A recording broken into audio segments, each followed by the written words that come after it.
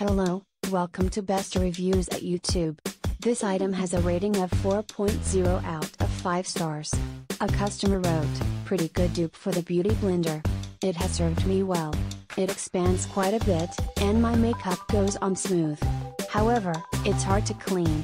I still haven't been able to get all of the makeup out, even when soaking and washing it with Beauty Blender Cleaner. Thank you for watching. Please give the thumbs up.